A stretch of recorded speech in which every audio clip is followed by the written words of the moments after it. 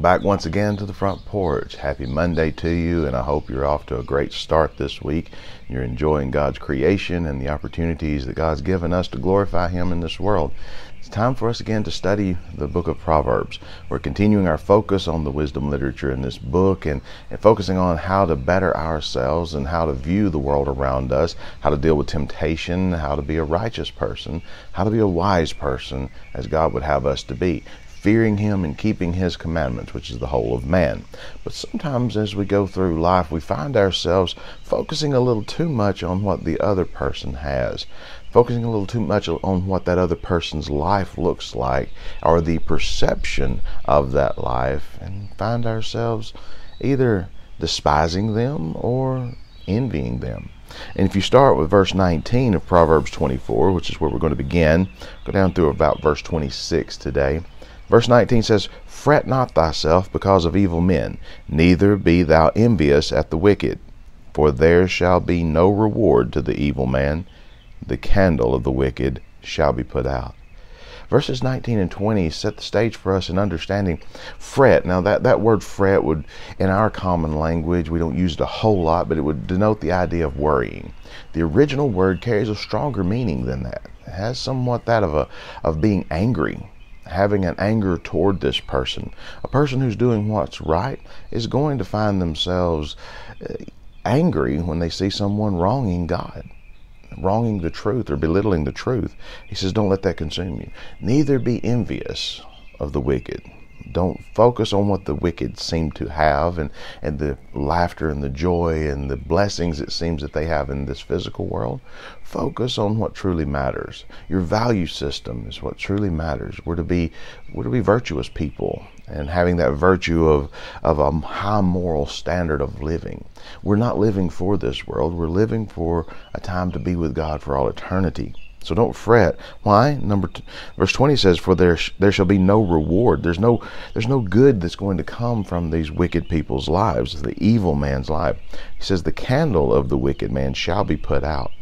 The candle of the wicked man is going to be put out in the sense that in the end there's darkness. In the end there's outer darkness. Cast the unprofitable servant, Jesus would say, into outer darkness where there's weeping and gnashing of teeth. That's what the, the wicked person is going to receive. The fearful, the unbelieving, the whoremonger, the adulterer, the abominable, all of those, and all liars, he says in Revelation 21 8, or have their part in the lake which burns with fire and brimstone. That's the second death. That's that eternal separation from God. That's what evil and wickedness has to look forward to. Why would we envy that? As a matter of fact, that rebellion concept is going to come back later on as well. Verse 21 says, My son, fear thou the Lord and the king, and meddle not with them that are given to change. Change in that sense of rebellion, change in that sense of, uh, as one translation has it, don't don't associate with these people and, and don't associate with anyone who doesn't do what he says in the beginning, fearing the Lord and the King. But it's more of an idea of a rebellious concept. This person who's looking to change and overthrow the government and so forth. Look at what he says again. He begins with God first. Love the Lord your God with all your heart, with all your soul, with all your mind, with all your strength. We ought to obey God, Acts 5.29, rather than men. And that would include the government. But he doesn't exclude the government. As a matter of fact, in Romans chapter 13, and he says here in this text as well, the king, in Romans chapter 13, starting in verse 1, he talks about an idea of being respectful and being obedient to the government, that the government is a hand of God to punish evildoers. He doesn't bear the sword in vain.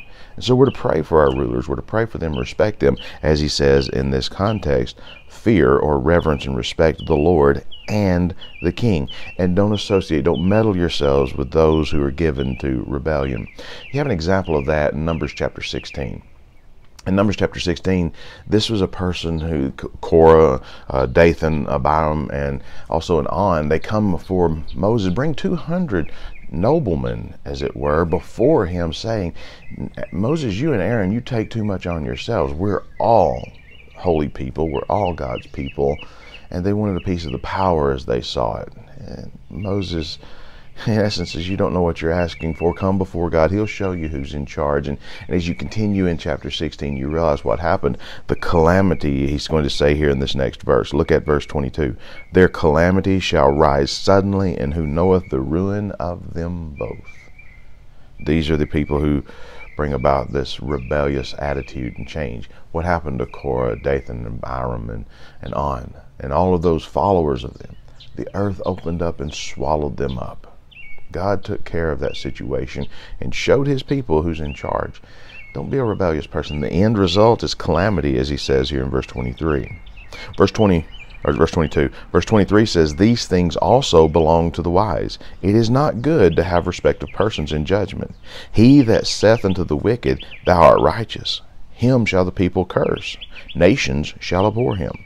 But to them that rebuke him shall be delight, and a good blessing shall come upon them. Again, this concept is seen, these things, as he's talked about previously in building up, that these things belong to the wise. These things are, are part and parcel to a wise person's life. You're going to be showing these actions and applying this knowledge in the right way. They belong to us. But it's a good thing, he says, to not have this respect. It's a bad thing to have this respect of persons.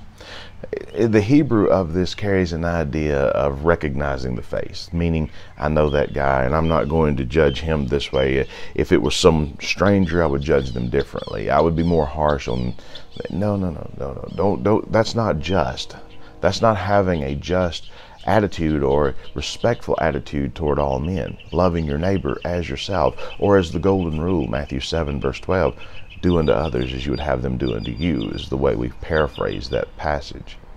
This is the concept that Jesus is teaching us through, God is teaching us through, the Holy Spirit's teaching us through men like Solomon and examples we have throughout the scriptures live your life in a way that glorifies God. God is the judge. Yes, I know Matthew tells us very clearly as well that judge not that you be not judged, but he also goes on and talks about how we are supposed to judge. That judge not that you be not judged is in the context of what we're saying here of a respect of persons, a prejudice, a prejudging concept. It's not good to have that mindset. It's not good to be that type of person, to have respect of persons in judgment. And so again he says, He that saith to the wicked, Thou art righteous, him shall the people curse, and the nation shall abhor him. To say to the wicked that you're a good person, you're a righteous person when they're doing evil, number one, it's a lie. Number two, it emboldens even more wickedness. It encourages others to follow in their footsteps. To follow in the paths of darkness is to follow in the paths of death. To follow in the paths of light is to follow in the paths of life. Are we walking in truth? And no, we're not to have fellowship with the unfruitful works of darkness, but we're to reprove them. Love does that. Love cares enough to say, that's not right. Love, we, we've mis, misapplied that in many ways in thinking that love says we'll just love them through the difficulty and make them feel better about themselves. We should never feel good about ourselves being lost, being wicked.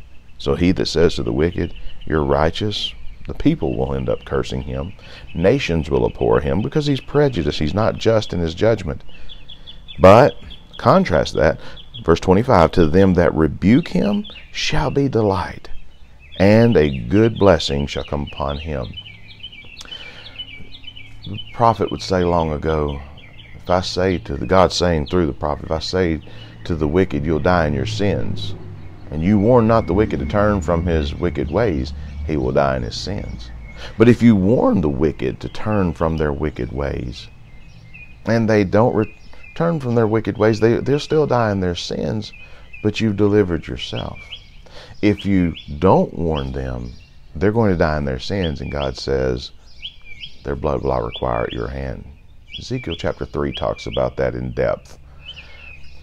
Looking at it here, those who rebuke this person who is wicked, there's going to be delight. Hopefully, will God's will would be that that person who is rebuked sees the error of their ways and repents. You've gained your brother. That person's come back to the fold, and and you've done your job as well, and God's glorified, and there's rejoicing.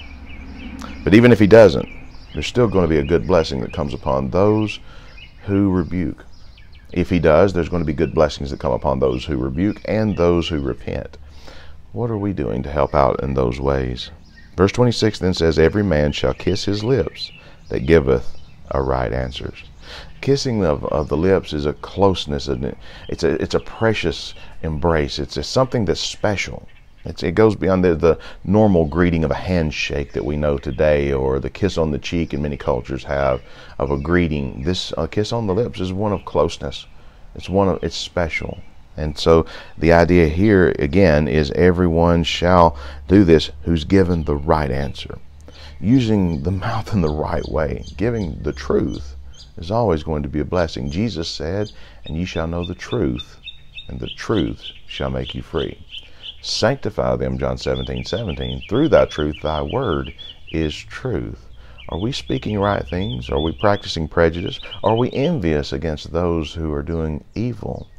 Let's focus on doing what's right. Let's focus on God and enjoying the blessings that He has prepared for all those who are walking in His light. And that's something on which we can meditate this Monday and every day. May God bless you till we meet again.